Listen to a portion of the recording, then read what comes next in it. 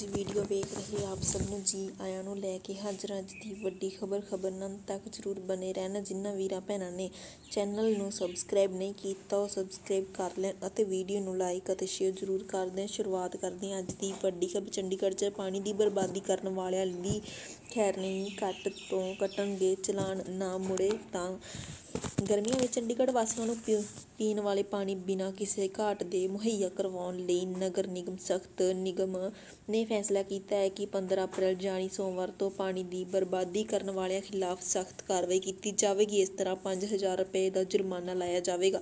ਜੇਕਰ ਇਸ ਤੋਂ ਬਾਅਦ ਵੀ ਕੋਈ ਬਾਜ਼ ਨਾ ਆਇਆ ਤਾਂ ਪਾਣੀ ਦਾ ਕਨੈਕਸ਼ਨ ਸਿੱਧਾ ਕੱਟ ਦਿੱਤਾ ਜਾਵੇਗਾ। ਇਸ ਦੇ ਨਾਲ ਨਿਯਮਾਂ ਨੂੰ ਤੋੜਨ ਲਈ ਨਿਗਮ ਵੱਲੋਂ ਕੋਈ ਵੱਖਰਾ ਨੋਟਿਸ ਨਹੀਂ ਦਿੱਤਾ ਜਾਵੇਗਾ। ਇਸ ਕਾਰਵਾਈ 30 ਜੂਨ ਤੱਕ ਜਾਰੀ ਰਹੇਗੀ। ਜੁਰਮਾਨਾ ਪਾਣੀ ਦੇ ਬਿੱਲ ਵਿੱਚ ਜੋੜਿਆ ਜਾਵੇਗਾ। ਨਗਮ ਨਿਗਮ ਵੱਲੋਂ ਕੁਝ ਨਿਯਮ ਬਣਾਏ ਗਏ ਹਨ, ਜਿਨ੍ਹਾਂ ਦੀ ਲੋੜ ਲੋਕਾਂ ਨੂੰ ਸਖਤੀ ਨਾਲ ਪਾਲਣਾ ਕਰਨੀ ਪਵੇਗੀ। ਲੋਕ ਤੇਜ਼ੀ ਤਾਜ਼ੇ ਪਾਣੀ ਦੀਆਂ ਪਾਈਪਾਂ ਨਾਲ ਵਾਹਨਾਂ ਦੇ ਵਿਹੜਿਆਂ ਵਿੱਚ ਨੂੰ ਨਹੀਂ ਧੋ ਸਕਣਗੇ, ਲਾਈਨ ਨੂੰ ਸਿੱਧਾ ਪਾਣੀ ਨਹੀਂ ਦੇ ਸਕਣਗੇ। ਖਬਰ ਨੂੰ ਅੰਤ ਤੱਕ ਵੇਖਣ ਲਈ ਆਪ ਸਭ ਦਾ ਧੰਨਵਾਦ। ਕਮੈਂਟ ਕਰਕੇ ਆਪਣੀ ਆਪਣੀ ਰਾਏ ਜ਼ਰੂਰ ਦਿਓ। ਧੰਨਵਾਦ।